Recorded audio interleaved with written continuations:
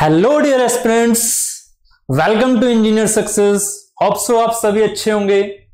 आज हम अपने इस डिजिटल प्लेटफॉर्म पर स्टार्ट करने वाले हैं एक new subject that is strength of material so चाहे आप सिविल इंजीनियर से हैं चाहे आप मैकेनिकल uh, इंजीनियरिंग से हैं आपके लिए ये subject as a core subject हुआ करता है। स्ट्रेंथ ऑफ़ मटेरियल, जब भी हम बात करते हैं डिज़ाइन परस्पेक्टिव की तो डिज़ाइन में जैसे ही हम बात करते हैं, हमारे माइंड में कहीं ना कहीं आती हैं forces stress strain deformation okay ये कुछ वर्ड्स ऐसे होते हैं डिफ्लेक्शन वगैरह, ये कुछ वर्ड्स ऐसे होते हैं, जो आपको जनरली जैसे हम डिज़ाइन की बात करते हैं, तुरंत आपके माइंड में आते हैं। तो बेसिक सब्जेक्ट जो इनसे डील करता है that is the strength of material जो बेसिक सब्जेक्ट है जो कि आपकी कोर को बिल्ड करता है। ठीक है तो हम बात करने वाले हैं आज से इन वीडियोस में that is the strength of material okay so सबसे पहले जब भी हम किसी भी एक सब्जेक्ट की बात करते हैं, चाहे वो स्ट्रेंथ ऑफ़ मटेरियल हो, चाहे वो फ्लूड मैकेनिक्स हो इंजीनियरिंग मैकेनिक्स हो, कुछ भी किसी भी तरह का सब्जेक्ट क्यों ना हो सभी सब्जेक्ट्स की अपने एक रियल एनवायरनमेंट में इंपॉर्टेंस होती है ओके तो हम उसी रियल एनवायरनमेंट को देखते हुए हम यहाँ पर सीखने वाले हैं उस सब्जेक्ट्स की फीलिंग को। हमें पहले यह भी समझना होगा थ्योरी से काम नहीं चलेगा, सिर्फ़ और सिर्फ़ हम थ्योरी ही पढ़ते रहेंगे तो हमें प्रैक्टिकल नॉलेज की भी ज़रूरत है, ठीक है? हम इस सेशन में, हम इन वीडियोस में, जो फर्दर हमारी वीडियोस होने वाली हैं सभी में हमें जो भी सब्जेक्ट यहाँ पर डील करना है सभी की एक थोरो नॉलेज होनी बहुत ज़रूरी है और जितने भी हमारे बेसिक सब्जेक्ट्स हैं जैसे इंजीनियरिंग मैकेनिक्स हुआ स्ट्रेंथ ऑफ़ मटेरियल हुआ फ्लूड मैकेनिक्स हुआ ये सारे ही सब्जेक्ट्स ऐसे हैं जिनमें आपको basic understanding on the practical basis भी होनी चाहिए ओके okay? क्योंकि कोर चीज़ें ही बताती हैं आपको कि हाँ कौन सी चीज़ हमारे रियल एनवायरमेंट में किस साइड में है okay okay? So so, one two one हम डिस्कशन अच्छे से करेंगे हर एक टॉपिक का, हर एक कॉन्सेप्ट का, ठीक है? साथ ही उसकी हम प्रैक्टिकल एनवायरमेंट में जो अप्रोच लगती है, उसके बारे में बात करेंगे। थ्योरेटिकल से कहीं ऊपर होने वाले हैं ये वीडियोस आपके लिए, ठीक है? तो बने रहिए साथ में। स्टार्ट करते हैं सबसे पहले हम स्ट्रेंथ ऑफ़ मटेरियल को। तो स्ट्रेंथ ऑफ़ मटेरियल ठीक है? हमारे चाहे कोई से भी एग्ज़ाम हो पी से रिलेटेड ठीक है? ए से जेई से जिससे भी आपके रिलेटेड आपके एग्ज़ाम्स हैं, ठीक है? वहाँ पर आपको स्ट्रेंथ ऑफ़ मटेरियल से खासा अच्छे क्वेश्चंस देखने को मिलते हैं, काफ़ी क्वेश्चंस देखने को मिलते हैं। डिज़ाइन से काफ़ी क्वेश्चन देखने को मिलते हैं, चाहे सिविल चाहे मैकेनिकल की बात की जाए। और जैसे कि कुछ ऐसे एग्ज़ाम्स भी होते हैं जिसमें इलेक्ट्रिकल मैकेनिकल कंबाइंड होते हैं तो इलेक्ट्रिकल के लिए भी ये काफ़ी अच्छे वीडियोज़ होने वाले हैं। ठीक है? तो आप किसी भी एग्ज़ाम की तैयारी कर रहे हैं, ये वीडियोज़ आपके लिए बेनिफिशियल हैं। ठीक है? तो स्टार्ट करते हैं जैसे स्ट्रेंथ ऑफ़ मटेरियल अब सिंपल सी बात है। जब हम बात करते हैं स्ट्रेंथ ऑफ़ मटेरियल तो हमारे माइंड में क्या आना चाहिए? हमारे माइंड में कौन सा सब्जेक्ट आना चाहिए जो स्ट्रेंथ ऑफ़ मटेरियल से डील कर रहा है? एक सिंपल सी बात है, देखिए, एकदम फीलिंग के साथ स्टार्ट करने वाले सब्जेक्ट को फीलिंग के साथ, देखिएगा सिंपल सी बात सिंपल सी बात देखिएगा, मान लेते हैं कि हम यहाँ पर इस तरह से एक कंडीशन लेके चल रहे हैं। मान लीजिए, ये आप हैं, ठीक है? मान लीजिए, ये आप हैं ओके मान लीजिए आप हैं। ओके? और साथ ही अगर मैं बात करता हूँ, आपको मैंने स्केट्स पहनाए हुए हैं रोलिंग शूज़ इस तरह से इमेजिन कीजिएगा। ठीक है, मैं ये मान के चलूँगा कि यार इमेजिनेशन आपकी है क्योंकि इंजीनियर अगर इमेजिनेशन नहीं कर रहा है तो वो इंजीनियर नहीं है। ठीक है तो इमेजिनेशन आपकी फुल ऑन है। ठीक है, हमने कहा कि यहाँ पर आप हैं जो स्केट्स पहने हुए हैं, ठीक है? एक कंडीशन आपकी ये है, आप पर मैं एक फोर्स लगा रहा हूँ, मान लीजिए इस तरह से। आप पर मैं एक फोर्स लगाता हूँ इस तरह से।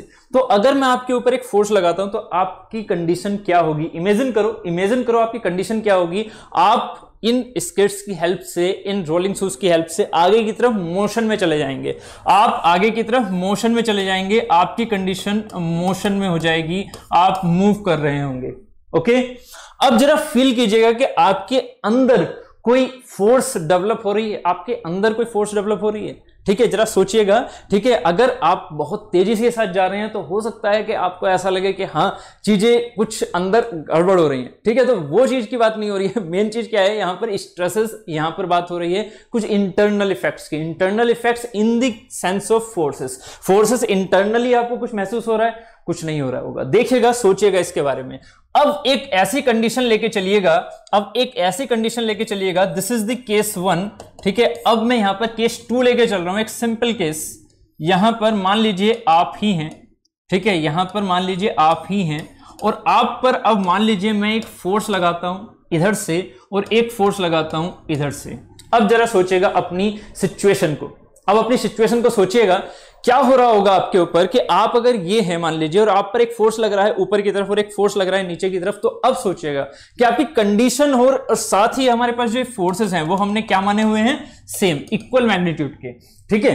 तो अब आपकी कंडीशन क्या है कि आप हैं तो रुके हुए, हैं तो आप स्टैटिक पोजिशन में बट आपके ऊपर अब इंटरनल इफेक्ट्स महसूस हो रहे हैं। आपके अंदर, आप फील कीजिएगा कि आपके अंदर इंटरनल इफेक्ट्स महसूस हो रहे हैं। तो यही जो हमारे पास हमारी सराउंडिंग में जितनी भी कंडीशंस जितनी भी सिचुएशंस ऐसी होती हैं, जहाँ पर हमें इंटरनल फोर्सेस इंटरनल फोर्सेस महसूस हों, ठीक है? जहाँ पर हमें इंटरनल फोर्सेस महसूस हों दैट सब्जेक्ट जो जो भी यहाँ पर साइंस की वो पर्टिकुलर ब्रांच जिसमें हम बात कर रहे हैं, उस इंटरनल इफेक्ट्स की, उस इंटरनल इफ़ेक्ट की that subject is known as the strength of material dealing with the internal effects of the body dealing with the internal effects of the body that subject is the strength of material और basically इसके नाम जो हम जानते हैं that is the mechanics that is the mechanics of mechanics of deformable or, mechanics of deformable or real solids. और इसका एक नाम और है mechanics of mechanics of material mechanics of material ठीक है, ऐसे ही हमारे पास इसके और भी नाम होते हैं। ठीक है, जैसे कि theory of theory of theory of elasticity theory of elasticity ठीक है, यहाँ पर जो डिफॉर्मेबल रियल सॉलिड्स की बात की है, उसी को हम एम बोल देते हैं, इसको हम एम बोलते हैं और इसको हम टी ओ बोलते हैं। ठीक है? तो इन नाम से भी हम सोम को जानते हैं। ठीक है? इन नाम से भी हम सोम को जानते हैं। तो उम्मीद है आपको यहाँ से इसकी बेसिक फीलिंग समझ में आ रही होगी स्ट्रेंथ ऑफ़ मटेरियल बेसिकली क्या है। स्ट्रेंथ ऑफ़ मटेरियल में अगर मैं इस कंडीशन की बात करूँ तो ये सोम नहीं है। सोम में आपको पहले क्या करना होगा मटेरियल को इक्विलिब्रियम में। पहली चीज़ अपने माइंड में क्या लेके आनी है? स्टैटिक इक्विलिब्रियम में। स्टैटिक इक्विलिब्रियम में हम अपनी कंडीशन को लेके चलते हैं। तो स्टैटिक इक्विलिब्रियम में आप कंडीशन को लेकर चलिएगा। साथ ही उस पर क्या होना चाहिए? इंटरनल इफ़ेक्ट महसूस होना चाहिए। अगर मटेरियल के अंदर इंटरनल इफ़ेक्ट महसूस नहीं हो रहा है तो मटेरियल है हमारा सिंपल इंजीनियरिंग मैकेनिक्स में। अगर मैं इस पार्ट की बात करूँ कि आपको मैंने रोलिंग शूज़ पहनाए हुए हैं और आप पर मैं सिर्फ़ और सिर्फ़ एक फोर्स लगा रहा हूँ, एक डायरेक्शन से तो आप जब यहाँ से इधर की ओर मूव कर रहे हैं तो आपके ऊपर कोई भी इंटरनल फोर्सेस नहीं जनरेट हो रहे हैं, नहीं प्रोड्यूस हो रहे हैं तो आप किसमें गए? आप जा रहे हैं यहाँ पर engineering mechanics engineering mechanics subject में, ना कि ना कि स्ट्रेंथ ऑफ़ मटेरियल में इंजीनियरिंग मैकेनिक सब्जेक्ट में, ना कि स्ट्रेंथ ऑफ़ मटेरियल में। उम्मीद है आपको यहाँ तक ये बेसिक अंडरस्टैंडिंग समझ में आ गई होगी, जो मैं बेसिक अंडरस्टैंडिंग एकदम क्लियर वर्डिंग में लेके चल रहा हूँ, ठीक है? तो ये है हमारा सिंपल स्ट्रेंथ ऑफ़ मटेरियल ठीक है, जिसको हम बेसिकली फीलिंग के साथ समझते हुए चल रहे हैं, ठीक है? अब नेक्स्ट की तरफ़ चलते हैं, आगे हम, आगे देखते हैं कि जो हमारे पास मैकेनिक्स होता है, ठीक है? जो हमारे पास मैकेनिक्स है, या स्ट्रेंथ ऑफ़ मटेरियल बेसिकली कहाँ पर लाई करता है? हमारे एनवायरमेंट में स्ट्रेंथ ऑफ़ मटेरियल कहाँ पर लाई करता है? एक पॉइंट तो आपको समझ में आ रहा है that is the internal effect जो भी इंटरनल इफ़ेक्ट हमारे मटेरियल में आ रहे होंगे एक्सटर्नल फोर्सेस की वजह से अगर इंटरनल फोर्सेस डेवलप हो रहे हैं, अगर इंटरनल इफ़ेक्ट डेवलप हो रहे हैं तो वो मेरा स्ट्रेंथ ऑफ़ मटेरियल है। किसके अंदर? हमारे रियल और डिफॉर्मेबल सॉलिड्स के अंदर। तो यहीं से हम मैकेनिक्स को देखते हैं, क्योंकि हमारे पास जो स्ट्रेंथ ऑफ़ मटेरियल है, उसका नाम जो है वो बेसिकली हमारा मैकेनिक्स ऑफ़ रियल और डिफॉर्मेबल सॉलिड्स है। तो मैकेनिक्स वर्ड को पहले हमें समझना होगा। तो इसी मैकेनिक्स वर्ड को समझने के लिए हम पहले अपना एक ओवरव्यू लेके लेके चलते हैं अपने माइंड में। देखिएगा, सोम की जो भी क्लास होने वाली है आपकी, जिस तरह से भी हमारी वीडियोस फर्दर चलने वाली हैं उन वीडियोस में आपको एक चीज़ तो माइंड माइंड में रखनी है कि अपने माइंड को एकदम ओपन रखना है। ठीक है? उसे फिक्स नहीं रखना है। जितनी मैं चीज़ें बोलने वाला हूँ, ठीक है? आज तक मे भी आपने उन चीज़ों को नहीं सोचा होगा सोम में। ठीक है? तो ये याद रखिएगा कि जो मैं बोलने वाला हूँ, उसको ओपन माइंड में आपको बस जाने देना है। ठीक है? क्या क्या हमारे अजम्पन्स होते हैं किस किस तरह से हमें सोचना होता है, वो सारी चीज़ें आपको वन बाय वन करके मैं अच्छे से समझाता हुआ चलूँगा। ठीक है? तो जैसे हमने यहाँ पर बात की है मैकेनिक्स की तो मैकेनिक्स बेसिकली क्या है? अगर मैं मैकेनिक्स की बात करूँ तो study of study of all forces study of all forces चाहे वो इंटरनल हो, चाहे वो एक्सटर्नल हो, सारे फोर्सेस की स्टडी हमारी मैकेनिक्स कहलाती है। ठीक है तो study study of all forces ठीक है, चाहे वो इंटरनल हो या फिर एक्सटर्नल हो, ठीक है, हम सभी की स्टडी को कंबाइंडली हम सभी की स्टडी को कंबाइंडली मैकेनिक्स बोलते हैं, ठीक है? बट मैकेनिक्स के हम फर्दर थ्री टाइप्स करते हैं। और ये जो स्टडी हम कर रहे हैं, ये किसके ऊपर हो रही है? कौन सा मटेरियल है वो? वो रिजिड बॉडी है, वो सॉलिड है, वो आपका लिक्विड है, या आपका गैस है, ठीक है? मतलब हमारे पास फ्लूड है या सॉलिड है, या फिर रिजिड बॉडी है। अब एक कॉन्सेप्ट यहाँ पर आता है कि रिजिड बॉडी क्या होती है? ठीक है? अब धीरे धीरे हम सारी चीज़ों को लेके चलेंगे। पहले हमारे पास माइंड में क्या है? स्टडी ऑफ़ ऑल फोर्सेस भाई फोर्सेस तो हम लगा रहे हैं ना। फोर्सेस तो एक्सटर्नल एनवायरमेंट लगा रहे हैं ना। एक्सटर्नल एनवायरमेंट कुछ भी लगा सकता है। बट किसके ऊपर लगाएगा? किसके ऊपर लगाएगा? वो चीज़ हमारे लिए डिपेंड करता है मटेरियल जैसे कि मैंने यहाँ पर नाम लिखा हुआ है। First thing is mechanics of rigid bodies तो पहला हमारा मटेरियल हो गया कौन सा? रिजिड बॉडी ठीक है? दूसरा हमारा मटेरियल हो गया डिफॉर्मेबल सोलिड्स एंड तीसरा हमारा मटेरियल हो गया मैकेनिक्स ऑफ़ फ्लूड मतलब फ्लूड से रिलेटेड तो हमारे एनवायरमेंट में हम ये पर्टिकुलर मटेरियल्स लेके चल रहे हैं। अगर मैं रिजिड बॉडी की बात करूँ तो आपको मैं धीरे धीरे समझाऊँगा कि रिजिड बॉडी क्या होती है।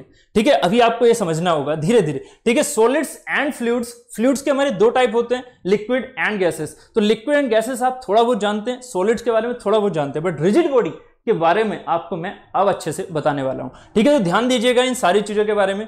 बाकी, अगर मैं सॉलिड एंड फ्लूड के डिफरेंस की बात करूँ तो वो भी मैं आपसे डिस्कस करूँगा कि सॉलिड क्या होता है एंड फ्लूड क्या होता है। ठीक है तो स्टार्ट करते हैं मैकेनिक्स मैकेनिक्स है study of all forces on that particular materials अब ये जो ऑन पर्टिकुलर मटेरियल्स हैं, उसी के बेसिस पर जो हमने पर्टिकुलर मटेरियल पकड़ा और उस पर हमने फोर्सेस की एनालिसिस की, ठीक है? तो वही एनालिसिस वही पर्टिकुलर मटेरियल हमारा इन सब में डिवाइड हो जाता है। जैसे कि अगर मैं स्टडी कर रहा हूँ रिजिड बॉडी की रिजिड बॉडी के ऊपर अगर मैं एक्सटर्नल फोर्सेस की स्टडी कर रहा हूँ, क्योंकि उसमें इंटरनल फोर्सेस का जो सेंस आएगा, वो जब मैं रिजिड बॉडी समझा दूँगा, उसके बाद आपको समझ में आ जाएगा, ठीक है?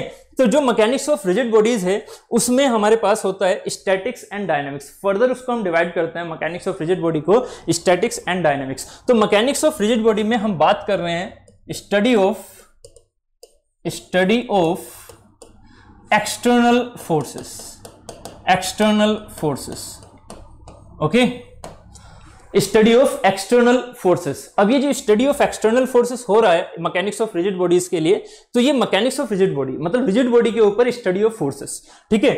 तो रिजिड uh, बॉडीज के लिए सबसे पहले हमारे पास स्टैटिक्स एंड डायनेमिक्स है और उसके बाद kinematics matics and kinematic kinetics हो जाता है डायनेमिक वाला पार्ट स्टैटिक्स का मीनिंग क्या है? आपको इक्विलिब्रियम इक्वेशंस याद होनी चाहिए ठीक है? अगर याद नहीं है तो आपसे याद रखिएगा कि जो हमारे पास स्टैटिक्स इक्वेशन होती है स्टैटिक्स इक्विलिब्रियम की बात करते हैं तो तो में हमारे पास अगर for the two D for two D body अगर मैं टू डी के बारे में बात कर रहा हूँ तो हमारे पास इक्विलिब्रियम इक्वेशन क्या क्या होती हैं? एक होता है summation F X equal to zero net summation F X force in X direction point पर डिपेंड नहीं कर रही होती है ये। ये बात कर रही होती है डायरेक्शन पर depend on that particular body particular body पर डायरेक्शन में एक्स डायरेक्शन में सारी फोर्सेस का सम हमारा क्या होना चाहिए? ज़ीरो दूसरी जो हमारी पास कंडीशन होती है that is the F Y zero मतलब सारी फोर्सेस का इन वाई डायरेक्शन में जो सम होना चाहिए, वो होना चाहिए zero and third condition is the summation M moment का summation at any point at any point on the body at any point on the body at any point in in Z direction in z direction. Equal to zero at any point in Z direction equal to zero moment is a vector quantity और vector quantity की अपनी एक direction होती है. तो यहाँ पर जो हम प्लेन की बात कर रहे हैं, अगर मैं प्लेन कर रहा हूँ, यहाँ पर लेके चल रहा हूँ एक्स वाई प्लेन तो एक्स वाई प्लेन में फोर्सेस तो हैं बट एक्स वाई प्लेन का जो परपेंडिकुलर प्लेन है, जैसे कि जेड प्लेन तो उस जेड प्लेन में होगी मोमेंट की डायरेक्शन क्योंकि मोमेंट की डायरेक्शन होती है, जिस प्लेन पर वो लग रहा है, उसके परपेंडिकुलर नहीं समझ में आया ना? इसको हम फर्दर अभी समझेंगे मोमेंट के केस में, ठीक है? तो अभी फ़िलहाल हमें यहाँ पर इक्वेशन को समझना है कि एक इक्वेशन है समीशन एफ़ एक्स ज़ीरो एक equation summation F Y zero और एक इक्वेशन है summation M equal to zero तो ये तीन इक्वेशन हमारी टू प्लेन के ऊपर लग रही होती हैं 2D प्लेन के ऊपर. अगर हम 3D की बात करेंगे तो यहाँ पर एड हो जाएगा समेशन एफ़ जेड और यहाँ पर ऐड हो जाएगा summation M at any point in X direction about X direction और summation M at any point about Y direction also तो यहाँ पर हो जाएँगे छह इक्वेशंस अगर 3D की बात हो रही है वर्डिंग पर ध्यान दीजिए, ठीक है? 3D की बात हो रही है शॉर्ट नोट्स में आप ये वर्डिंग्स भी नोट कर सकते हैं। और अगर 2D की बात हो रही है तो हमारे पास होती हैं थ्री तीन इक्वेशंस ओके तो ये हमारे पास कंडीशन हुई है स्टैटिक्स की। स्टैटिक्स का मतलब है नेट कंडीशन हमारी इक्विलिब्रियम में होनी चाहिए स्टैटिक अवस्था में होनी चाहिए, रुकी हुई अवस्था में होनी चाहिए। ठीक है? यहाँ पर सारे फोर्सेस हमारे क्या होने चाहिए? ज़ीरो बॉडी पर कोई भी फोर्स ना लग रहा हो, वो मोशन में ना हो। ठीक है? जबकि डायनेमिक की जो बात करते हैं डायनेमिक में हम बात कर रहे होते हैं, जब बॉडी किसके अंदर आ गई है? मोशन में। जब बॉडी आ चुकी है मोशन में। ठीक है? Summation F X is not equal to zero summation F Y is not equal to zero summation M about any point in Z direction not equal to zero या इन तीनों चीज़ों में से एक चीज़ नॉट इक्वल टू ज़ीरो या फिर दो चीज़ नॉट इक्वल टू ज़ीरो या फिर तीनों ही चीज़ें नॉट इक्वल टू ज़ीरो तो उस कंडीशन में हम बोलेंगे कि बॉडी हमारी डायनामिक में है बॉडी हमारी स्टैटिक नेट इक्विलिब्रियम में नहीं है। ठीक है? गलती मत करना। जो मैं बता रहा हूँ, समझिएगा उसे। अगर ये तीनों चीज़ें हमारी ज़ीरो हैं इंडिविजुअली तीनों चीज़ें हमारी ज़ीरो हैं, तभी हमारी फुल बॉडी स्टैटिक में होगी, रुकी हुई अवस्था में होगी। बट अगर उसमें से एक भी चीज़ नॉन ज़ीरो रह गई है, ठीक है, एक एक भी चीज़ ज़ीरो रह गई है सॉरी नॉन ज़ीरो रह गई है और बाकी सारी चीज़ें ज़ीरो हो चुकी हैं तो वो बॉडी हमारी डायनामिक में हम बोल सकते हैं उसे डायनामिक में हम कहते हैं उसे, ठीक है? वो परफेक्टली स्टैटिक अवस्था में नहीं है, ठीक है?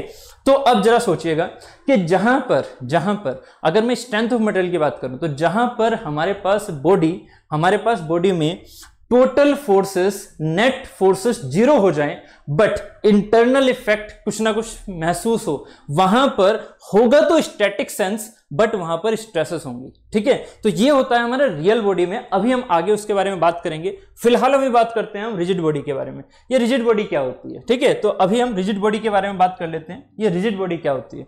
तो रिजिड बॉडी के बारे में समझिएगा अगर मैं यहाँ पर रिजिड बॉडी के बारे में आपसे बात करता हूँ तो। ठीक है? रिजिड बॉडी क्या है? Rigid body is that particular body in which after application of force there is no there is no word particular word पर ध्यान दीजिएगा। There is no deformation there is no deformation no deformation ठीक है? Deformation क्या है?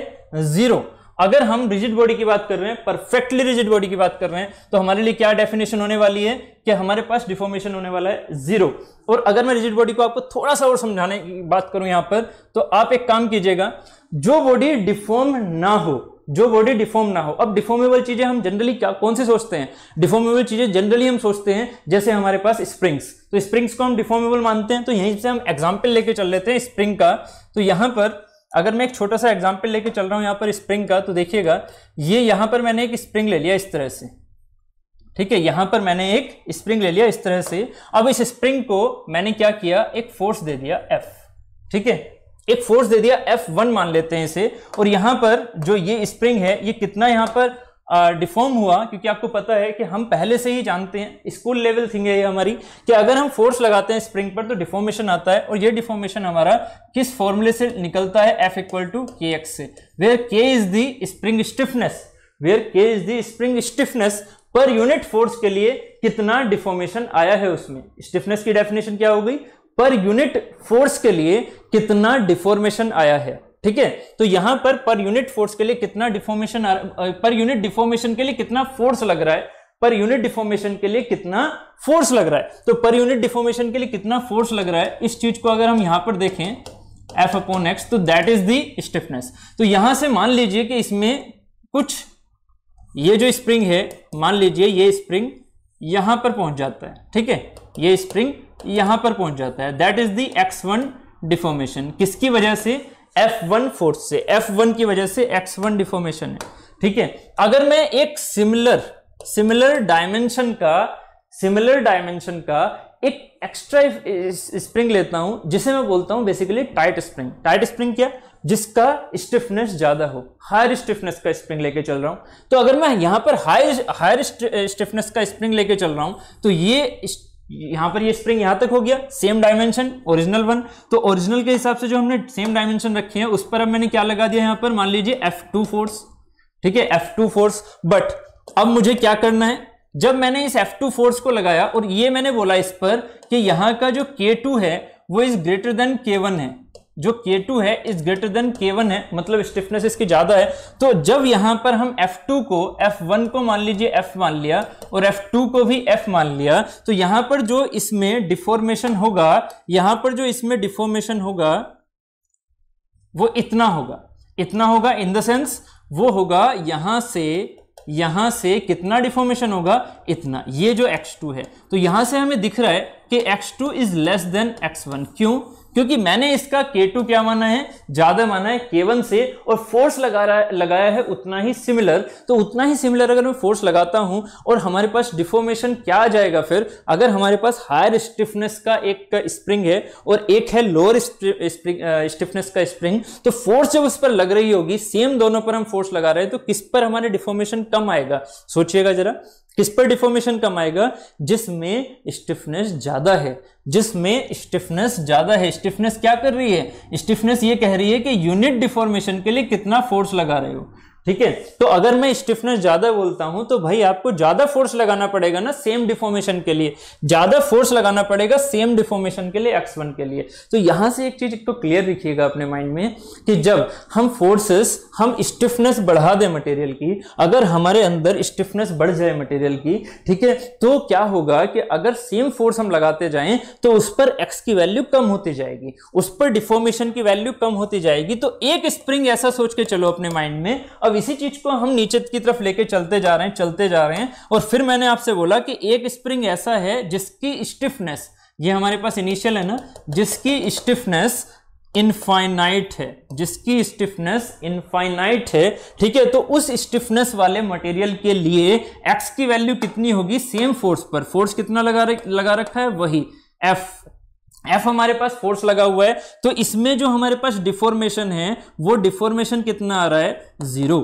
और अगर एक ऐसा स्प्रिंग जिसमें डिफॉर्मेशन ज़ीरो आ रहा है, जिसमें डिफॉर्मेशन ज़ीरो आ रहा है after application of force after application of force अगर स्प्रिंग में डिफॉर्मेशन हमारा रहता है ज़ीरो तो इसका मीनिंग क्या हुआ? चाहे तो इस फॉर्मूले से आप जा सकते हैं कि अगर मैं के की बात करूँ तो फोर्स तो कुछ ना कुछ है।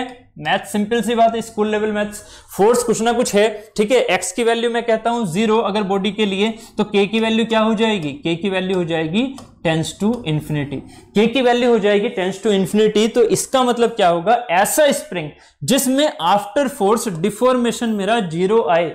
ऐसा स्प्रिंग जिसमें आफ्टर फोर्स डिफॉर्मेशन मेरा ज़ीरो आए, वही स्प्रिंग हमारा क्या कहलाता है? के टेंस टू इंफिनिटी या फिर रिजिड बॉडी इसे हम बोलते हैं रिजिड बॉडी रिजिड बॉडी का आप सिंपल सा हमारे पास यहाँ पर एक निष्कर्ष निकल के आ रहा है कि रिजिड बॉडी वो पर्टिकुलर बॉडी है जिसमें आफ्टर एप्लीकेशन ऑफ़ फोर्स कितना भी क्यों ना फोर्स लगा लिया जाए तो यहाँ पर जो हमारे पास डेफिनेशन निकल के आ रही है कि रिजिड बॉडी वो बॉडी है जिसमें डिफॉर्मेशन हमारा ज़ीरो होता है। जिसमें डिफॉर्मेशन हमारा ज़ीरो होता है that is the rigid body simple तो अगर मैं यहाँ पर बात करता हूँ, जैसे हम बात कर रहे थे इस स्लाइड में तो इस स्लाइड में हम स्टेट इसमें मैकेनिक्स ऑफ़ रिजिड बॉडी में तो रिजिड बॉडी एक पर्टिकुलर वो बॉडी है, ध्यान से समझिएगा रिजिड बॉडी एक पर्टिकुलर वो बॉडी है, जिस पर आप फोर्स लगाते रहेंगे, तब भी इसमें डिफॉर्मेशन नहीं होगा। ये जैसी थी, ये वैसी की, वैसी ही बनी रहेगी।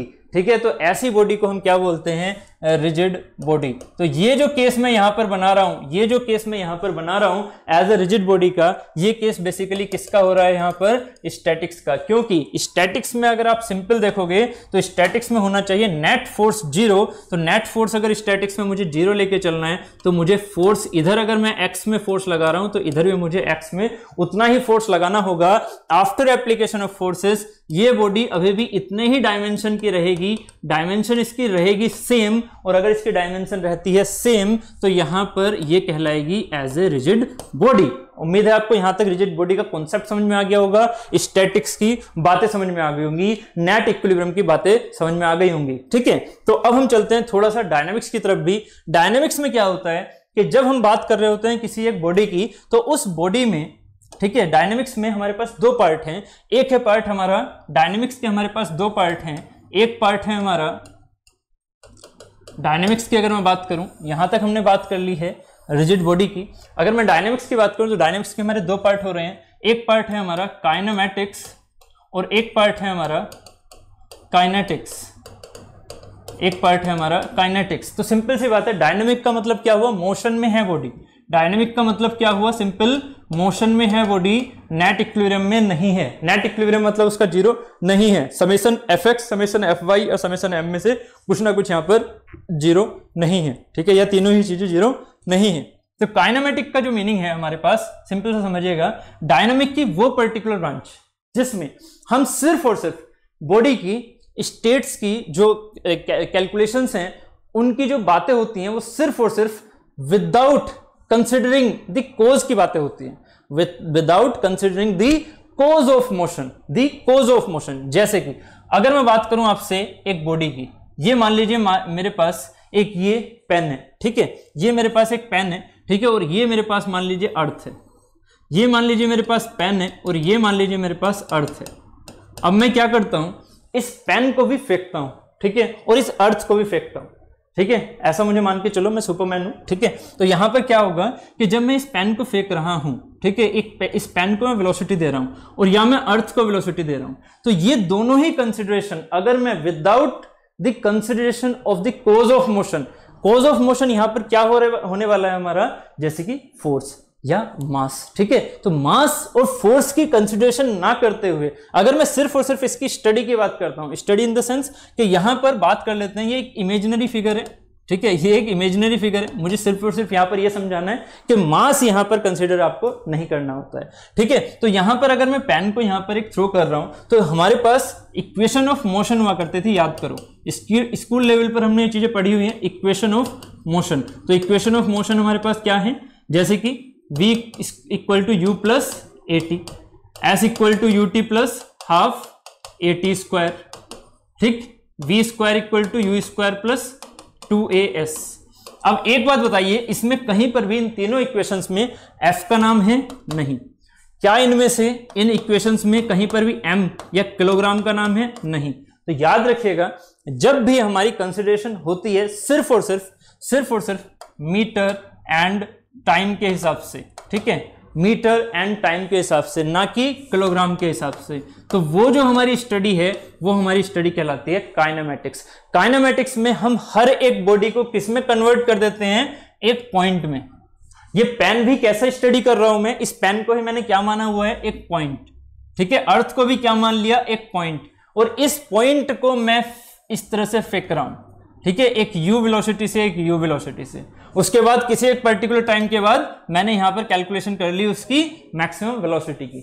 ठीक है, जो एट द टाइम हमने वेलोसिटी अचीव की है। ठीक है तो फाइनल वेलोसिटी की बात हम यहाँ पर कर सकते हैं। ठीक है, ये इमेजिनेशन है। ठीक है, ये सिंपल हमने इमेजिनेशन बात की है। क्यों? क्योंकि एक पैन के को भी हमने पॉइंट माना हुआ है और अर्थ को भी हमने पॉइंट माना हुआ है। ऐसा नहीं है कि अर्थ अगर बहुत ज़्यादा बड़ी है तो उसको हम मास को कंसिडर करेंगे। नहीं, यहाँ पर हम बात कर रहे हैं काइनामेटिक्स की। तो काइनामेटिक्स में हम मास या कोज ऑफ़ मोशन को स्टडी नहीं करते हैं। काइनामेटिक्स की अगर सिंपल सी बात करें तो यहाँ पर जो स्टडी होती है without without considering without considering the cause of the cause of motion while kinetics में जो होता है that is with considering with considering the cause of motion.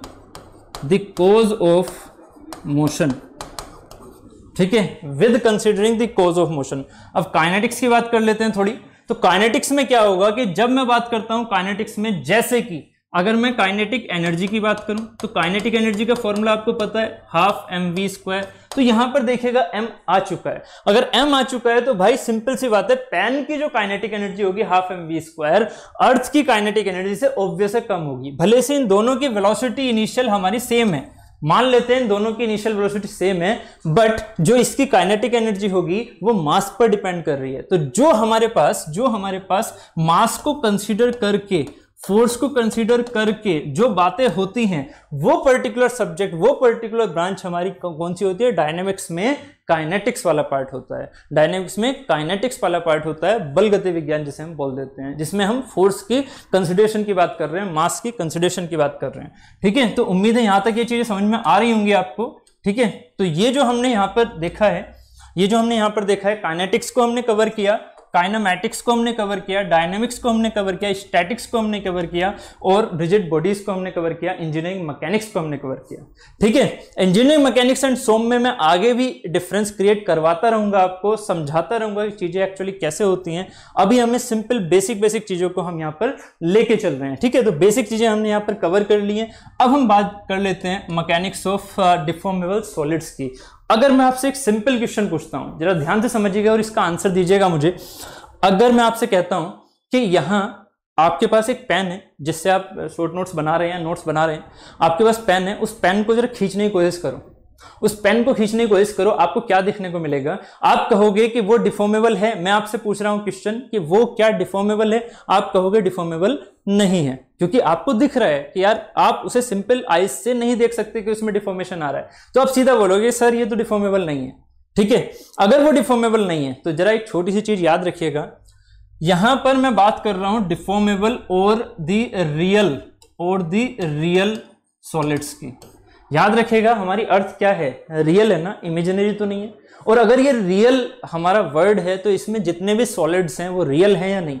Imaginary तो नहीं है। अगर वो सारे के सारे सॉलिड्स हमारे रियल हैं तो रियल सॉलिड्स के हिसाब से वो रियल सॉलिड्स हमारे डिफॉर्मेबल 100 परसेंट है। अब आप कहोगे कि, सर डिफॉर्मेबल हैं तो हमें दिख क्यों नहीं रहे? अब जरा लेके चलते हैं। उस कॉन्सेप्ट को जो आपको थोड़ा बहुत आइडिया होगा, जिसे हम बोल देते थे हुक्स लो हुक्स लो आपने कॉलेज टाइम में थोड़ा बहुत पढ़ा होगा, इसके बारे में हम अभी आगे कंटेंट में भी डिस्कस करेंगे, हम इसे कहाँ पर पढ़ने वाले हैं। बस आप मुझे सिर्फ़ और सिर्फ़ ये बताइए कि आपको ये चीज़ तो याद है ना sigma equal to E epsilon. Sigma equal to E epsilon. और उम्मीद है आपको स्ट्रेस की ये छोटी सी डेफिनेशन भी याद होगी कि स्ट्रेस क्या होता है? फोर्स अपॉन एरिया स्ट्रेस क्या होता है? फोर्स अपॉन एरिया ठीक है? ई क्या हो गया? यंग्स मॉडुलस इसे बोलते हैं। एफसालन क्या होता है? एफसालन होता है स्ट्रेन ठीक है, और यहाँ पर कौन सी स्ट्रेन है ये? लॉन्गिट्यूडनल स्ट्रेन क्यों लॉन्गिट्यूडनल स्ट्रेन है? क्योंकि यहाँ पर हम नॉर्मल स्ट्रेस की बात कर रहे हैं। तो यहाँ पर होता है लॉन्गिट्यूडनल स्ट्रेन ये भी एक इंटरेस्टिंग कॉन्सेप्ट है, जिसके बारे में डील करूँगा आगे नेक्स्ट चैप्टर चैप्टर टू के अंदर स्टेशन स्ट्रेन के अंदर. तो ये सारी चीज़ें मैं डील करने वाला हूँ. बस आपको अभी मुझे यहाँ पर थोड़ा सा एक बेसिक समझाना है, जो आपको व्यू में दिखता है कि सर डिफॉर्मेबल होती नहीं है. बट मैं आपको प्रूफ करने वाला हूँ कि यहाँ पर ये सारी चीज़ें डिफॉर्मेबल होती हैं. कैसे? P upon A equal to E into delta इसको हम लिखते हैं delta Y L delta Y L का मतलब लॉन्गिट्यूडनल चेंज लेंथ में जो लॉन्गिट्यूडनल चेंज हुआ है डिवाइडेड बाई ओरिजिनल लेंथ तो डेल्टा वाई एल हमारे पास ये होता है तो यहाँ से बताइएगा, जो चेंज हो रहा है वो कितना आया? पी एल अपॉन ए जो चेंज हुआ वो कितना आया? पी एल अपॉन ए अब एक बात बताइए, अगर किसी एक बॉडी पर आपने फोर्स लगा रखा है तो उसे क्या ज़ीरो बोलोगे? नहीं ना। अगर आपने एक बॉडी को ले रखा है तो क्या उसकी ओरिजिनल लेंथ ज़ीरो है? नहीं ना। अगर आपने बॉडी को ले रखा है तो उस पर ए क्या ज़ीरो हो चुका है, नहीं ना? और अगर मैं रियल की बात कर रहा हूँ तो रियल में यंग्स मॉडुलस क्या है मेरा? कुछ ना कुछ है। चाहे वो कोई सा भी मटेरियल क्यों ना हो ई e की वैल्यू कुछ ना कुछ है। ठीक है? और अगर ई e की वैल्यू कुछ ना कुछ है तो यहाँ पर आपको क्या देखने को मिल रहा है? यहाँ पर आपको क्या देखने को मिल रहा है? कि ये जो डेल्टा की वैल्यू है, ये कुछ ना कुछ तो आएगी। डेल्टा विल बी समथिंग और अगर ये डेल्टा कुछ है अगर ये डेल्टा कुछ है तो आप कैसे कह सकते हो कि इसमें डिफॉर्मेशन नहीं हो रहा है? उम्मीद है आपको थोड़ा समझ में आ रहा होगा। ये थोड़ा कॉन्सेप्ट आपके माइंड में जा रहा होगा कि हमारे पास जितने भी इस रियल एनवायरनमेंट में, इस अर्थ के ऊपर जितने भी सॉलिड्स हैं, वो सारे के सारे डिफॉर्मेबल हैं। आप सुपरमैन खुद से हो। अगर आप ये कहते हो कि मैं पेन को खींच नहीं पा रहा तो आप खींच चुके हो उसे। आप खींच चुके हो उसे। आप इसकी डेंसिटी चेंज कर चुके हो। ठीक है, आप कहते हो सॉलिड की डेंसिटी चेंज नहीं होती है, मैं डेंसिटी चेंज करता हुआ प्रूफ दूँगा आपको चैप्टर टू के अंदर। ठीक है तो आपको ये सारी चीज़ें समझनी होगी कि रियल चीज़ें ऐसी हैं। ठीक है, बस वो हमें दिखती नहीं है सिंपल आइज़ से। ठीक है, जबकि रियल में वो चीज़ें हो रही हैं। ठीक है तो यहाँ पर मैकेनिक्स ऑफ़ डिफॉर्मेबल और रियल सॉलिड के अंदर अगर हम बात करें तो इसमें हम बात कर लेते हैं कि जो बॉडी हमारी डिफॉर्मेबल है, जो बॉडी हमारी रिजिड नहीं है, अब यहाँ से एक बात हमें रियल समझ में आती है कि जो रिजिड बॉडीज होती हैं, जो इंजीनियरिंग मैकेनिक्स का कॉन्सेप्ट है, वो फुल्ली थ्योरेटिकल है। वो फुल्ली थ्योरेटिकल है क्योंकि इंजीनियरिंग मैकेनिक्स का जो कॉन्सेप्ट होता है, वो हम रिजिड बॉडी के ऊपर मान के चलते हैं और रिजिड बॉडी हमारी जो परफेक्ट रिजिड बॉडी होती है that is the imaginary body that is the imaginary body जो कि अर्थ पर आपको नहीं मिलने वाली है। अर्थ पर आपको सारी बॉडीज कैसे मिलने वाली हैं? रियल सॉलिड्स जो कि डिफॉर्मेबल होते हैं। बात क्लियर है? जो कि डिफॉर्मेबल होते हैं। ठीक है? तो ये हमारे लिए एक तरह से थ्योरेटिकल कॉन्सेप्ट है। बट हाँ बेस हमारा इसी से क्रिएट होता है। हम पहले से ही, जैसे काइनामेटिक्स में आपने देखा था ना, कि हमने इमेजिनेशन कर ली, क्या? कितना भी कितना भी बड़ा क्यों ना हमारे पास प्लानट भी क्यों ना हो, ठीक है? उसे भी हम क्या मान के चल लेते थे? एक छोटा सा पॉइंट एक छोटा सा पॉइंट ऐसे ही इसमें हमने क्या माना हुआ है? डिफॉर्मेशन ज़ीरो डिफॉर्मेबल बॉडी है ही नहीं. ठीक है तो यहाँ पर हम जब मैकेनिक्स की सॉरी स्ट्रेंथ ऑफ़ मटेरियल की बात कर रहे हैं तो स्ट्रेंथ ऑफ़ मटेरियल में अगर मैं एक बॉडी ये लेके चला स्ट्रेंथ ऑफ़ मटेरियल में अगर मैं एक बॉडी ये लेके चला, और इस बॉडी पर मैं फोर्स लगा रहा हूँ, जरा ध्यान से समझिएगा, मैं फोर्स लगा रहा हूँ एफ़ इस साइड और एफ़ इस साइड तो ये मेरा समीशन एफ़ क्या दे रहा है? समीशन एफ़ इसमें क्या आ रहा है? ज़ीरो समीशन एफ़ को कैसे किया करते हैं, ठीक है? ये आप इंजीनियरिंग मैकेनिक्स में अच्छे से पढ़ चुके हो, ठीक है? जो स्टूडेंट्स सोम को पहले वीडियो से देख रहे हैं, वो याद रखिएगा कि इंजीनियरिंग मैकेनिक्स में हम फोर्सेस के एनालिसिस अच्छे से कर चुके हैं।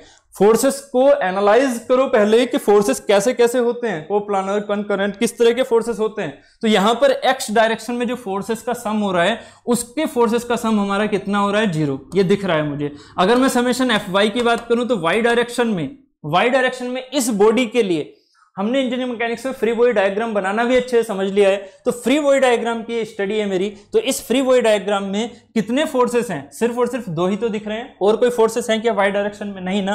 तो वाई डायरेक्शन जो फोर्सेस ही नहीं है तो वो तो ज़ीरो हो गया ना। समीशन एम की बात करें तो एम क्या होता है? हमारे पास रोटेशन एक तरह से मोमेंट ठीक है? तो मोमेंट की अगर मैं बात करूँ यहाँ पर तो दोनों की लाइन ऑफ़ एक्शन क्या है? सेम। तो अगर दोनों की लाइन ऑफ़ एक्शन सेम है तो कपल नहीं बनेगा। ये भी चीज़ें इंजीनियरिंग मैकेनिक्स में आपने डील कर ली हैं। स्टार्टिंग में फोर्सेस कपल ये सब चीज़ें क्या होती हैं? बट फिर भी मैं आपको इनके बारे में भी डिटेल एनालिसिस सोम में भी लेके चलने वाला हूँ। किसके अंदर? टाइप ऑफ़ लोड के अंदर। अभी हम बात करेंगे उसकी। अभी हम बेसिक चीज़ों को लेके चल रहे हैं। ठीक है तो समेशन एम भी यहाँ पर ज़ीरो है तो ये तीनों ही चीज़ें क्या हैं? ज़ीरो हैं। अब अगर ये तीनों ही चीज़ें ज़ीरो हैं तो इसे आप क्या बोलोगे? इसे आप क्या बोलने वाले हो? नेट इक्विलिब्रियम और अगर ये नेट इक्विलिब्रियम यहाँ पर आपको देखने को मिल रहा है नेट इक्विलिब्रियम है इसमें, इसका मतलब ये किसमें है? ये है स्टैटिक अवस्था में। ये है स्टैटिक अवस्था में और अगर ये चीज़ स्टैटिक अवस्था में है तो जरा सोचिएगा, अगर ये चीज़ स्टैटिक अवस्था में है तो यहाँ पर अब ये जो बॉडी है, ये है डिफॉर्मेबल बॉडी तो ये भागेगी तो नहीं कहीं? क्यों नहीं भाग रही है? क्योंकि स्टैटिक पोजिशन में। बट ये क्या डिफॉर्म हो रही है? बिल्कुल हो रही है। क्यों? क्योंकि हम स्टडी कर रहे हैं स्ट्रेंथ ऑफ़ मटेरियल की मतलब ये है मेरी रियल बॉडी ये है मेरी रियल बॉडी और अगर मैं रियल बॉडी की बात करूँ तो रियल बॉडी यहाँ पर रियल बॉडी क्या होगी? रियल बॉडी होगी डिफॉर्म अब यहाँ अगर स्टूडेंट ये सोच रहे हैं कि, सर, ये जो चीज़ होती है, ये यहाँ से आप इसे इधर भगा रहे हो, इसका मतलब ये तो सर मूव कर रही है ऐसे। नहीं, ये मूवमेंट नहीं है। ये यहाँ पर इसका मूवमेंट नहीं है। ये यहाँ पर क्या है? इसका डिफॉर्मेशन इसे हम बोलते हैं यहाँ पर डिफॉर्मेशन तो ये जो डिफॉर्मेशन यहाँ पर है, हम उसकी स्टडी करेंगे इसमें। ठीक है? सोलिड बॉडीज जो रियल सोलिड हैं, उनमें मोशन नहीं हो रहा है। उसमें क्या हो रहा है? डिफॉर्मेशन ठीक है? तो डिफॉर्मेशन जो होता है, उसी की स्टडी की जाती है इस फॉर्मूले से, जिसको हम आगे डील करने वाले हैं। बात क्लियर है? तो हमारे पास जो सोम की हम स्टडी करते हैं, वो भी किसमें कर रहे हैं हम? स्टैटिक्स अवस्था में। तो स्टैटिक अवस्था में नेट इक्विलिब्रियम हमेशा होगा। याद रखिएगा इस चीज़ की कंडीशन जो मैं आपसे बोल रहा हूँ कि जो हम सोम की स्टडी करते हैं, सोम की स्टडी हम करते हैं नेट इक्विलिब्रियम में आपके सिलेबस के अकॉर्डिंग हम सिर्फ़ और सिर्फ़ स्टैटिक अवस्था में बातें करते हैं। हम सिर्फ़ और सिर्फ़ किसके अवस्था में बातें कर रहे हैं? स्टैटिक अवस्था में। तो स्टैटिक पोजिशन में। तो याद रखिएगा जब भी हम पूरी सोम को अपने हिसाब से पढ़ रहे हैं यहाँ पर, आपके सिलेबस के हिसाब से तो सोम नेट इक्विलिब्रियम हर एक पॉइंट का रहेगा। हर एक point every point in the body every point in the body in the body remains in equilibrium remains in equilibrium ये पॉइंट आज लिखवा रहा हूँ, इसको भूलिएगा मत, ठीक है? Every point in the body remains in equilibrium for the SOM condition हमेशा याद रखिएगा इस चीज़ को, ठीक है? तो ये चीज़ हो गई हमारे पास, ठीक? सोम से रिलेटेड साथ ही क्या है, हर एक बॉडी डिफॉर्मेबल है, जो कि रियल की बात कर रहे हैं हम, हर एक बॉडी डिफॉर्मेबल है। यहाँ तक की कंडीशन की बात हो चुकी है, ठीक है? लास्ट हमारा जो एक मैकेनिक्स का पार्ट बचता है that is the engineering mechanics of fluid तो मैकेनिक्स ऑफ़ फ्लूड में हम बात कर लेते हैं एक लिक्विड की एंड एक गैसेस की, ठीक है? तो लिक्विड एंड गैसेस से रिलेटेड हमारे पास हम बेसिकली क्या बोल देते हैं? गैसेस को जनरली हम बोल देते हैं इन लिक्विड को जनरली हम बोल देते हैं incompressible fluids incompressible fluids and gases को हम जनरली बोल देते हैं कंप्रेसिबल फ्लूड्स कंप्रेसिबल फ्लूड्स ठीक है? तो यहाँ जो मैं बात कर रहा हूँ मैकेनिक्स ऑफ़ फ्लूड्स की तो मैकेनिक्स ऑफ़ फ्लूड्स में हम यहाँ इन दोनों फ्लूड्स की स्टडी करते हैं। मैकेनिक्स के बेसिस पर एक्सटर्नल इफ़ेक्ट के बेसिस पर, क्योंकि एक्सटर्नल इफ़ेक्ट तो लगाया जा रहा है इंटरनली क्या हो रहा है, वो सारी चीज़ें भी हम यहाँ पर देखते हैं। बट मेन चीज़ यहाँ पर क्या है? यहाँ पर बात हो रही है फ्लूड्स की सॉलिड्स की नहीं। ठीक है, यहाँ पर भी हम इंटरनल इफेक्ट्स देखेंगे बट उसे हम सोम नहीं बोलेंगे, उसे हम एफ़ एम बोलेंगे। यहाँ पर ये सब्जेक्ट का नाम हो जाता है एफ़ एम फ्लूड मैकेनिक्स इस सब्जेक्ट का नाम हो जाता है सोम स्ट्रेंथ ऑफ़ मटेरियल और इस सब्जेक्ट का नाम हो जाता है ई एम ई एम मतलब इंजीनियरिंग मैकेनिक्स देखो यहाँ पर चाहे हम सिविल की बात करें चाहे हम मैकेनिकल की बात करें कोर सब्जेक्ट की तरह ठीक है? चाहे हम उन इलेक्ट्रिकल स्टूडेंट की बात करें जो कि मैकेनिकल कैडर के हिसाब से क्वेश्चंस को देखते हैं ठीक है? सब्जेक्ट्स को देखते हैं। तो यहाँ पर जितने भी हम यहाँ पर ये सब, आपके ब्रांचेस मैंने लिखी हुई थी मैकेनिक्स की एक है मैकेनिक्स ऑफ़ रिजिड बॉडी एक है mechanics of deformable body and एक है मैकेनिक्स ऑफ़ फ्लूड तो आपको यहाँ पर साफ़ दिख रहा है कि ये इंडिविजुअल सब्जेक्ट आप पढ़ते हो। इंडिविजुअल सब्जेक्ट एक सब्जेक्ट है हमारा इंजीनियरिंग मैकेनिक्स एक सब्जेक्ट है हमारे पास स्ट्रेंथ ऑफ़ मटेरियल एंड एक सब्जेक्ट है हमारे पास फ्लूड मैकेनिक्स तो ये तीनों सब्जेक्ट सब सेपरेटली पढ़ते हो. ठीक है? तो डिटेल एनालिसिस करना इंजीनियरिंग मैकेनिक्स का, वो इंजीनियरिंग मैकेनिक्स में आप देखिएगा. सोम का हम करेंगे, आपस में बातें करेंगे इसमें, और यहाँ पर एफएम का एफएम वाले सब्जेक्ट में हम डील करने वाले हैं. ठीक है? तो ये सारी चीज़ें आपको एक ओवरव्यू की तरह मैंने यहाँ पर समझा दी है, जिससे कि आगे कभी भी कंफ्यूजन ना रहे, और एक क्रिस्टल क्लियर अप्रोच आपके माइंड में चलती रहे डिज़ाइन से रिलेटेड चाहे डिज़ाइन से रिलेटेड हो, चाहे फ्लूड से रिलेटेड हो, चाहे किसी भी पर्टिकुलर सब्जेक्ट से रिलेटेड हो, आपके माइंड में क्रिस्टल क्लियर अप्रोच होनी चाहिए हमेशा। ठीक है तो ये हमारे कुछ बेसिक चीज़ें हैं जो हमने यहाँ पर बात कर ली हैं। ठीक है, ये हमारे पास बेसिक चीज़ें हैं जो हमने यहाँ पर बात कर ली हैं। ठीक है? ठीक? चल नेक्स्ट नेक्स्ट बात कर लेते हैं हम कंटेंट्स की। ठीक है तो इस वीडियो में हम बात करने वाले हैं। ठीक है, जैसे कि हमने कंटेंट यहाँ पर लिखा हुआ है तो यहाँ कंटेंट देख के डरना नहीं है, पहली बात। ठीक है, ये सोम जो होता है, सोम की बात करें या फिर हम बात करें एफएम की। हम बात करें सोम की या बात करें हम एफएम की तो सोम और एफएम ये काफ़ी बेसिक सब्जेक्ट्स हैं और लेंदी सब्जेक्ट्स हैं। याद रखिएगा, इसमें पहले ही आपको रियलिटी पता होनी चाहिए। SOM and FM basic subject हैं और लेंदी सब्जेक्ट हैं। बट इनके जो बेस बेसिक्स हैं, जो कॉन्सेप्ट हैं, बहुत ही ईजी होते हैं। ठीक है तो आपको ये नहीं देखना है कि बहुत सारा कंटेंट यहाँ लिखा हुआ है। मेन चीज़ है कि हर एक चीज़ क्या है, बहुत ही ईजी है। आपको बस बेस लेके चलना है मेरे साथ, कोई दिक्कत नहीं होगी आपको एक एक छोटी छोटी चीज़ें समझने में। ठीक है तो स्टार्ट करते हैं। फ़र्स्ट हमारा कंटेंट है। कंटेंट में फ़र्स्ट चैप्टर हमारा इंट्रोडक्शन देन है टाइप ऑफ़ लोड्स देन है stresses stress strain curve and properties मैं आपको जितने भी इधर उधर से क्वेश्चंस हुआ करते हैं सोम के हिसाब से, ठीक है, वो सारे के सारे मैं फ़र्स्ट चैप्टर में ही डील कर लेता हूँ। ठीक है, जैसे कि प्रॉपर्टीज़ से रिलेटेड प्रॉपर्टीज़ से रिलेटेड क्योंकि आपको पहले ही पता होना चाहिए। देखिए सिंपल सी बात है। आपको मान लीजिए इसका डिज़ाइन करना है। एग्ज़ाम्पल के तौर पर आपको इस कैंटिलीवर बीम का डिज़ाइन करना है। तो आपको यह पता होना चाहिए ना, पहली बात, पहली चीज़, आप ये जो डिज़ाइन कर रहे हो, ये क्यों कर रहे हो भाई? बस ऐसे ख्वाब आया था, सपना आया था, इस वजह से डिज़ाइन कर लिया आपने, ऐसे थोड़ी होता है। आपको मेन चीज़ क्या है? मेन है आपके पास लोड क्या लगा हुआ है? लोड क्या लगा हुआ है एक्सटर्नल एनवायरमेंट में? लोड क्या लगा हुआ है? जिसके लिए आप कैंटिलीवर बीम बना रहे हो। ठीक है तो आपके पास सबसे पहले पता होना चाहिए लोड किस कितने टाइप के होते हैं और लोड यहाँ पर कौन सा, कैसा लगा हुआ है? ऐसा भी लोड हो सकता है। ये भी हमारा लोड होता है, जिसे हम मोमेंट बोल देते हैं, या फिर ट्विस्टिंग टोर्क बोल देते हैं, वो भी हमारे पास लोड होता है। Load is the simple force और कपल। तो आप फोर्स एंड कपल जो इसके ऊपर लगा रहे हो, ठीक है, वो चीज़ें कैसी लगी हुई हैं? वे सब चीज़ें एक्सटर्नल जो कि आपको होती है गिवन अगर आपके पास लोड ही आपको नहीं पता है तो भाई कैंटिलीवर बीम क्यों बनाना? अगर आपको लोड ही नहीं पता है लोड कह रहे हो ज़ीरो है तो क्यों सिंपली सपोर्टेड बीम बना रहे हो वहाँ पे? जब लोड ही नहीं है, किसी चीज़ को वेयर ही नहीं करना है तो ज़रूरत क्या है भाई? बात बात समझ में आ रही है ना? तो कैंटिलीवर बीम अगर हमें बनानी है तो कैंटिलीवर बीम बनाने पर कितना पहले से ही लोड था वहाँ पर जिसे इसे झेलना है? आपको पहले ये पता होना चाहिए तो एक्सटर्नल लोड्स आपको पता होना चाहिए। एक्सटर्नल लोड्स आपको पता होना चाहिए, ये होती है हमारी गिवन कंडीशन ठीक है, ये हमें पता होता है, ठीक है? और उसको पता करने के लिए पहले ये पता करना चाहिए आपको कि भाई लोड के टाइप क्या होते हैं। अगर बोल दिया गया पॉइंट लोड है तो कैसा?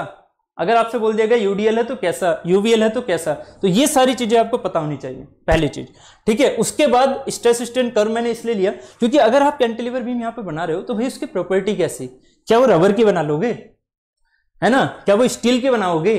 कास्ट आयरन की बनाओगे? किस चीज़ की बनाने वाले हो? वुड की बनाने वाले हो? किस चीज़ की बनाने वाले हो?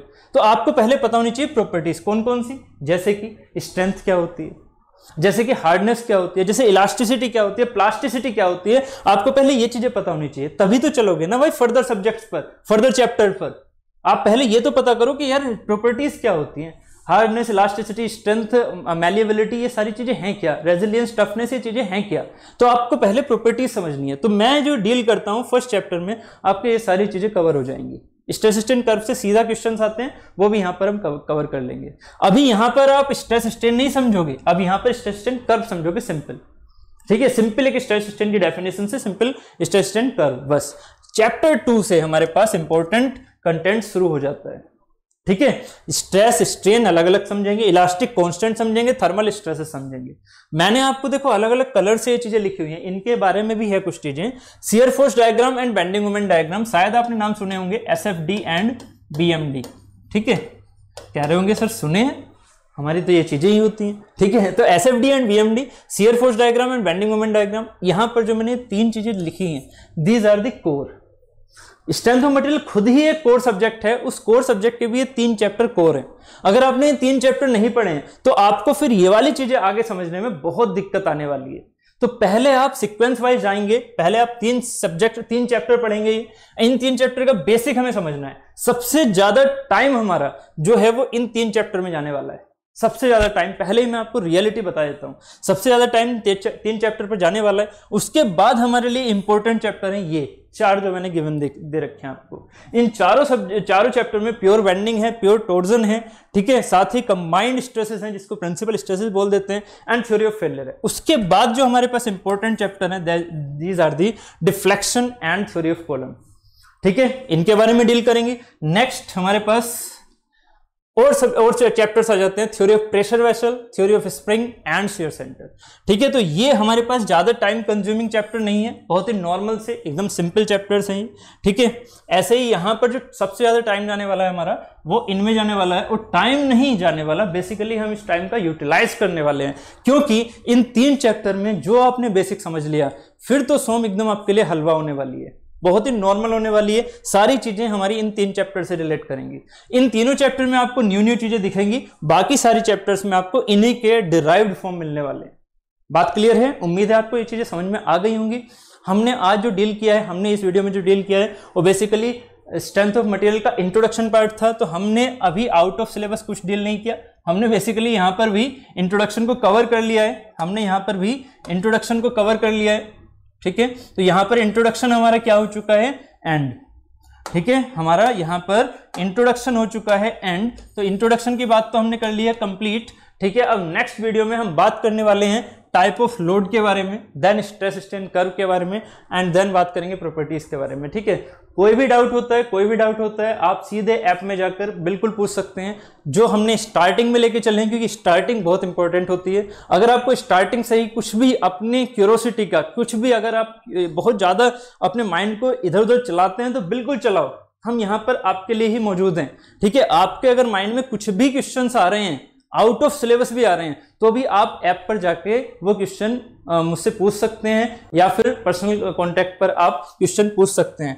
This is my WhatsApp number आप सिंपल सोम से रिलेटेड जो भी क्वेश्चन होते हैं, चाहे फ़र्स्ट लेक्चर से ही मैं आपको ये चीज़ बता रहा हूँ कि जो भी क्वेश्चन होते हैं, आप डायरेक्टली मुझसे पूछ सकते हैं, ओके? आपके डाउट हमारे लिए इंपॉर्टेंट हैं, ठीक है? जितने भी आपके डाउट हैं, वो आप कीजिए, ठीक है? उनको सॉल्व कीजिए, तभी आप आगे बढ़िएगा। ठीक है? क्योंकि ये चीज़ें बहुत इंपॉर्टेंट होने वाली हैं। साथ ही मैं आपको एक चीज़ और बता दूँ, आपको थोड़ा सा मेरे साथ देना होगा। साथ इन द सेंस कि जो मैं कंटेंट यहाँ पर बात कर रहा हूँ, ठीक है? जो मैं यहाँ पर कंटेंट बात कर रहा हूँ, इस कंटेंट को हम सिर्फ़ और सिर्फ़ सिर्फ़ और सिर्फ़ थ्योरी बेसिस पर ही नहीं लेके जाने वाले हैं। हमारा अल्टीमेट एम क्या है? आपका अल्टीमेट एम क्या है? उम्मीद है आपको पता होगा, आपका अल्टीमेट एम क्या है? ठीक है? अल्टीमेट एम ये है, किसी एग्ज़ाम को क्रैक करना नहीं है। एक्चुअल आपका अल्टीमेट एम ये होना चाहिए। रात दिन सोते जागते हमेशा ये चीज़ याद होनी चाहिए कि मुझे इसमें जाना है जो भी आपकी ड्रीम जॉब है। जो भी आपकी ड्रीम जॉब है, मुझे उसमें रियल में जाना है। ठीक है? मुझे उसमें रियल में जाना है। ठीक है? अगर आप वो चीज़ सोच के चल रहे हो तो आपको ये सारी चीज़ें में एक चीज़ और करनी होगी, जो मैं थ्योरी के साथ में रखूँगा आपके साथ। बस वो टाइमली आपको कंप्लीट करना है। इनके साथ में आपको असाइनमेंट्स इनके साथ में आपको असाइनमेंट्स असाइनमेंट्स क्वेश्चन भी प्रोवाइड करता रहूँगा, जो कि आपको खुद से भी लगाने होंगे। ठीक है? हम वीडियोज़ में डिस्कस करने वाले हैं question questions theory questions theory ठीक है? एक्स्ट्रा असाइनमेंट्स आपकी ज़िम्मेदारी होगी। आप उन असाइनमेंट्स को करेंगे और उन असाइनमेंट्स का डिस्कशन मुझसे आप करेंगे। ठीक है? जो भी आपकी क्वेश्चंस की क्वेरी होगी, वो ऐप के थ्रू या व्हाट्सएप के थ्रू आप करेंगे। ठीक है? ज़रूरी है ये चीज़ें। आपको अगर ये ड्रीम जॉब पानी है। क्लियर ठीक है? मिलते हैं नेक्स्ट वीडियो में। Thank you